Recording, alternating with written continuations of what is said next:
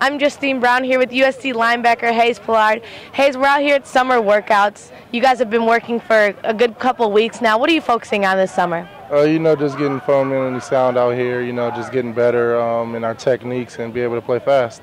You have a lot of the young guys out here now with you. How are you helping them and how are you helping teach? Uh, basically, like the older guys taught me when I was young. You know, just being a the bigger brother to them and being a coach because you know the coaches can't be out here for us, and you know we just trying to bring them along because we need them.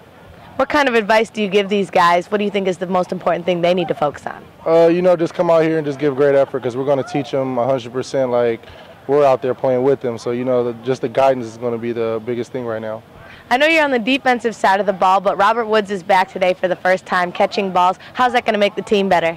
Oh, it's going to make it real better. You know, it shows his determination coming from the surgery. And, you know, uh, him being back uh, gives us that feel that we always, uh, you know, wanted this whole summer, and it's a great fit.